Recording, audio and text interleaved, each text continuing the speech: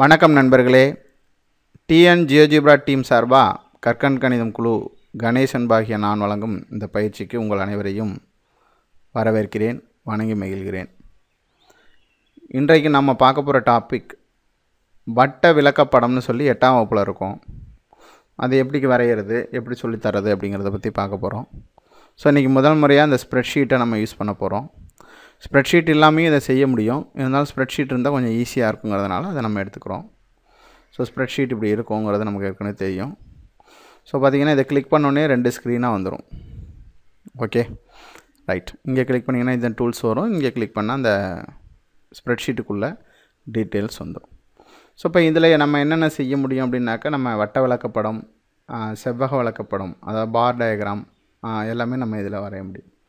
So இப்போ இன்றைக்கி நம்ம பார்க்க போகிற டாபிக் வந்து வட்ட விளக்கப்படம் எப்படி வரைகிறது அப்படின்னு பார்க்க போகிறோம் இதுக்கான விவரங்கள். ஒரு குடும்ப வரவு செலவு திட்டமாக இருக்கலாம். மதிப்பெண்கள் மாணவர்கள் பெற்ற மதிப்பெண்களாக இருக்கலாம். ஏதோ ஒரு விவரங்கள் கொடுப்பாங்க இல்லையா? மொத்த டீட்டெயில்ஸ் கொடுத்து அவங்களுடைய மொத்த வரவு செலவு கொடுத்துருவாங்க.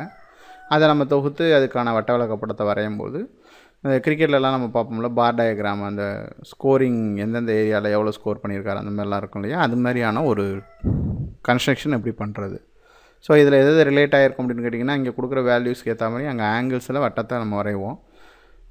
இல்லையா?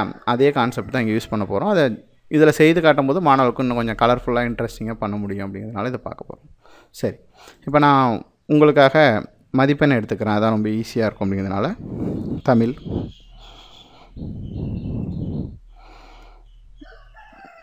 English. Maths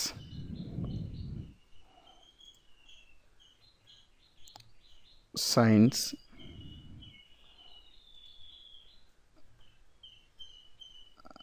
social science ஓகேவா இதில் எடுத்த மாணவர் எடுத்த மதிப்பெண்களை நம்ம இங்கே பட்டியலிடுறோம். ஒரு நல்ல மாணவன் நம்ம எடுத்துக்குவோம். தொண்ணூற்றி ஆறு எண்பத்தி ஐந்து தொண்ணூற்றி எட்டு சயின்ஸில் ஒரு தொண்ணூற்றி ஐந்து. ஒரு தொண்ணூற்றி ஏழு இந்த மதிப்பெண்களை பெற்றிருக்காரு இதுக்கு ஒரு வட்ட விளக்கப்படம் வரையணும். ஸோ இப்போ இந்த விவரங்களை வரையறதுக்கு வேறு ஒன்றும் இல்லை. இதோட கூட்டல் தொகையை கண்டுபிடிச்சி ஒவ்வொன்றையும் அதோடைய கூடுதலால் வகுத்து முந்நூற்றி அறுபதால் பெருக்கணும். இது நமக்கு தெரிஞ்ச விஷயம் தான் அதே தான் செய்ய போகிறோம் ஸோ இப்போ இதனுடைய டோட்டல் கண்டுபிடிக்கிறதுக்கு இது மேலே கிளிக் பண்ணாலே சம்ங்கிற ஆப்ஷன் வந்துடும் ஸோ இப்போ இதில் என்ன இது ஜீரோ வருது அப்படின்னு கேட்டிங்கன்னா இந்த காலம் நம்ம செலக்ட் பண்ணப்போ ஓகேவா இந்த இடத்துல இங்கே வந்துடுது. ஸோ இந்த இடத்துல ஒரு ராங் கமெண்ட் வருது அப்படின்னு சொன்னால் இந்த இப்போ இப்போ செலக்ட் பண்ணி பாருங்கள் இப்போ ஆட்டோமேட்டிக்காக வந்துடும் இதை நான் டெலிட் பண்ணிடுறேன். ஒன்றும் இல்லை இது ஒரு பழக்கம். ஃபஸ்ட் டைம் மட்டும் இந்த கிளிக் பண்ணும்போது நம்ம மவுஸ் கண்ட்ரோல் இல்லாதனால அப்படி ஆயிடுச்சு இது எல்லாத்தையும் செலக்ட் பண்ணி இங்கே சம் கொடுத்தாலே ஆட்டோமேட்டிக்காக அந்த டோட்டல் இங்கே வந்துடும் ஓகேவா இப்போ இங்கே நம்ம இங்கே நம்ம ரூல்ஸ் என்ன? இஸ் ஈக்குவல் டு இந்த இடத்துல உள்ள செல்லோட என்ன? நம்ம நம்பர் கொடுத்தீங்கன்னா இந்த இப்போ டேரெக்டாக தொண்ணூற்றி ஆறு பை நானூற்றி எழுபத்தி ஒன்றுன்னு கொடுத்துடலாம். அப்போ ஒருவேளை நம்ம இன்கேஸ் இந்த மார்க்கை மாற்றும் போது இந்த வட்ட விளக்கப்படம் மாறாது. ஸோ அதுக்காக நான் என்ன செய்யணும்னு இந்த செல்லோட அட்ரஸ் தான். இது ஏற்கனவே சில பேர் எக்ஸலில் பழகிருந்தீங்கன்னா உங்களுக்கு ஈஸியாக இருக்கும். P one divided by simple போட்டேன். அடுத்தது பி சிக்ஸ் கரெக்டாக பி சிக்ஸ் தான் டோட்டல் இன்ட்டுக்கு வந்து என்ன போடுவோம்? ஸ்டாரு முந்நூற்றி அறுபது டிகிரி முந்நூற்றி அறுபதுன்னு போட்டாலே போதும். ஓகே இப்போ எழுபத்தி மூணு புள்ளி முப்பத்தி எட்டு. லைக் தீஸ் அதை அப்படியே எடுத்துகிட்டு வந்துட்டிங்கன்னா இந்த இடத்துல.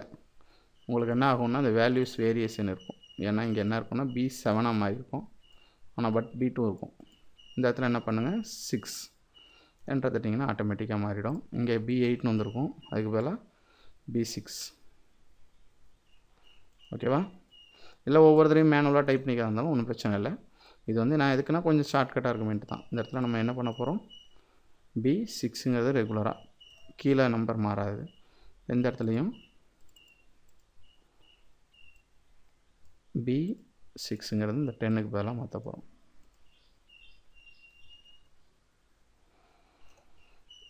இதோட செம்ம நீங்கள் வேணால் கூட்டி பாருங்களேன். ஒரு எக்ஸாம்பிளாக கூட்டி பார்த்தீங்கன்னா முந்நூற்றி அறுபது டிகிரி இருக்கும். ஸோ இதில் எந்த விதத்துலையும் மாறுபாடு இருக்காது. ஸோ இப்போ இந்த ஸ்க்ரீனில் நான் இந்த என்ன தேவையில்லை அப்படின்னு நினைக்கிறேன்னா இந்த கிரிட்டும் ஆக்சிஸும் வேண்டாம். ஸோ இப்போ நம்ம என்ன செய்ய போகிறோம் ஒரு வட்டம் வரைய போகிறோம் இந்த வட்டத்தில் தான் வட்ட விளக்கப்படத்தை நம்ம குறிக்க போகிறோம் ஸோ சர்க்கிள் சென்டர் த்ரூ பாயிண்ட்டை யூஸ் பண்ணி ஒரு வட்டத்தை நான் மார்க் பண்ணிட்டேன். ஓகே இப்போ நான் என்ன பண்ண போகிறேன் அப்படின்னு கேட்டிங்கன்னா ஒரு பாயிண்ட் இது மேலே நம்ம மார்க் பண்ணிட்டேன் ஓகே இப்போ ஃபஸ்ட் எடுத்தோன்னே இந்த ஆங்கிளில் ஒரு வட்ட விளக்கம் அந்த பாகம் வரையணும் இல்லையா? அதுக்கு நம்மக்கிட்ட இருக்கிற டூல் என்ன அப்படின்னு பார்த்தீங்கன்னா இங்கே தெரியும். சர்க்குலர் செக்டார் இருக்கா? இதை எடுத்துக்கணும்.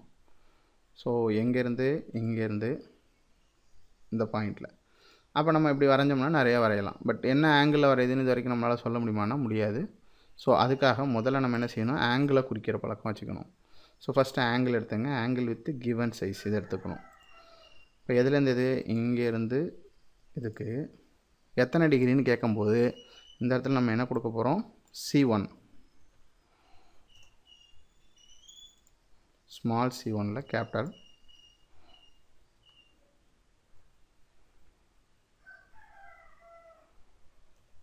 ஓகேவா இப்போ அந்த பாயிண்ட் தெரியும். இது வந்து வட்டம் வரையும் போது அந்த பாயிண்ட் இல்லையா? அதனால் இதன் மேலே ரைட் கிளிக் பண்ணி ஷோ ஆப்ஜெக்டை எடுத்து விட்றேன் ஓகே இப்போ நமக்கு என்ன கிடச்சிருச்சு இந்த கோணம் கிடச்சிருச்சு.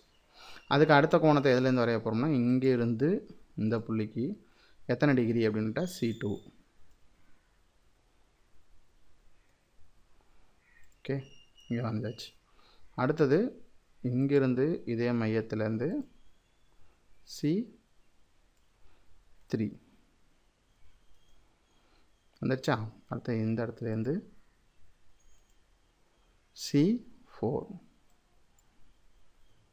ஓகே அடுத்தது இந்த இடத்துலேருந்து ரிமைனிங்காக தான் இருக்கும்.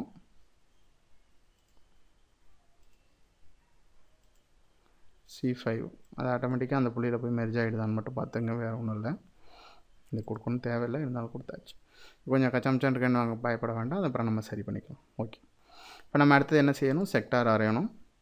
சர்க்குலர் செக்டார் ஃப்ரம் சென்டர்லேருந்து இந்த பாயிண்ட்லேருந்து இது வரைக்கும் ஒன்று ஓகே நெக்ஸ்ட்டு சென்டர்லேருந்து இந்த பாயிண்ட்லேருந்து இது வரைக்கும் ஒன்று அடுத்து சென்டர்லேருந்து இந்த பாயிண்ட்லேருந்து இது வரைக்கும். சென்டர்லேருந்து இந்த பாயிண்ட்லேருந்து இது வரைக்கும். சென்டர்லேருந்து இந்த பாயிண்ட் ஓகே நம்ம இப்போ வட்ட வழக்கு படத்தை வரைஞ்சாச்சு. இப்போ நான் என்ன செய்ய போகிறேன் மூ டூலை யூஸ் பண்ணி இந்த ஆங்கிள்ஸ் எல்லாம் கொஞ்சம் கொஞ்சம் இருக்குது அதை கொஞ்சம் கரெக்டாக அந்தந்த ஏரியாக்குள்ளே வர மாதிரி. ஓகே அந்தந்த செக்டார் ரீஜனுக்குள்ளே இருக்கிற மாதிரி மாற்றிக்கலாம் ரைட் இப்போ இதில் நான் ரைட் கிளிக் பண்ணி செட்டிங்ஸ் போகிறேன் ஓகே கலர் மாற்றத்துக்கு தான் வேறு ஒன்றும் இல்லை. இப்போ இந்த செக்டாருக்கு கலர் வந்து ரெட்டில் இருக்கட்டும். ஒப்பாசிட்டியை ஃபில் பண்ணிடலாம். அடுத்து இதுக்கு க்ரீன் கொடுக்குறேன். ஒப்பாசிட்டியை ஃபில் பண்ணிடலாம். அடுத்து இதுக்கு ப்ளூ கலர் கொடுக்கலாம். சாரி அந்த ஆங்கிளை செலக்ட் பண்ணனால அப்படி இருக்குது இப்போ இதை செலக்ட் பண்ணிவிட்டு அதே ப்ளூ கொடுத்துட்டு ஒப்பாசிட்டியை ஃபில் பண்ணால் ஃபில் ஆகிடும் லைக் திஸ் இதுக்கு இந்த பர்பிள் கலர் கொடுக்குறேன். எல்லோ கலர் கொடுக்குறேன் ஓகே இப்போ நமக்கு தேவையான அந்த டேட்டாக்கான வட்ட விளக்கப்படத்தை நம்ம வரைஞ்சாச்சு. ஓகே தானே? உங்களுக்கு அது கிளியராக புரியும்னு நினைக்கிறேன். ஸோ இந்த கிவன் ஆங்கிளுக்கு நம்ம ஒரு வட்ட விளக்கப்படத்தை இப்போ நம்ம வரைஞ்சிட்டோம். இதை நம்ம த்ரீ டி வியூவில் பார்த்தா எப்படி இருக்கணும் ஒரு ஆங்கிளில் பார்க்கும்போது சில ஆசைகள் நமக்கு இருக்க தான் செய்யும். ஸோ வியூ ஆப்ஷனில் போயிட்டு த்ரீ டி கிராஃபிக்ஸை கிளிக் பண்ணுங்கள் இப்போ உங்களுக்கு அது பார்க்கலாம். இந்த இது கொஞ்சம் நோத்திக்கிறேன் ஸோ ரொட்டேஷன் ஆப்ஷனை யூஸ் பண்ணி ரொட்டேட் பண்ணி கூட காமிக்க முடியும் இது த்ரீ டியாக காமிக்கிறது. இதில் அந்த பிளேன் எல்லாத்தையும் நீக்கிட்டோம்னா கரெக்டாக இருக்கும் பார்க்கறதுக்கு. ஓகே ஸோ இது மாதிரி நம்ம த்ரீ டியாகவும் கொஞ்சம் மாணவர்களுக்கு காமிக்க முடியும். சரிதான் ஸோ இந்த ரெண்டு வகையில் நம்ம இந்த வட்ட விளக்கு படத்தை மாணவர்களுக்கு புரிகிற மாதிரி நம்ம காமிக்க முடியும்.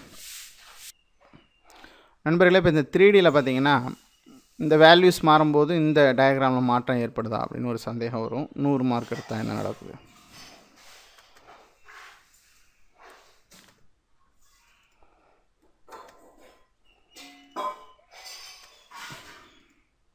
பார்த்தீங்கன்னா எல்லாமே சேம் டிகிரியாக இருக்கிறத நீங்கள் பார்க்கலாம். ஸோ இது தான். நம்ம மார்க்கை மாற்றும் போது இது மாறுறதை நம்ம புரிஞ்சுக்க முடியும். ஸோ எதுக்காக இந்த செல்லில் நான் இங்கே கொடுக்கும்போது சி ஒன் சி டூன்னு கொடுக்க சொன்னேன்னு தெரியுதா? இங்கே வேல்யூஸ் எது மாறினாலும் இப்போ தொண்ணூற்றி ஐந்து மார்க் அப்படின்னு சொன்னிங்கன்னா அவனுக்கான டயக்ராம் இது. இங்கே வந்து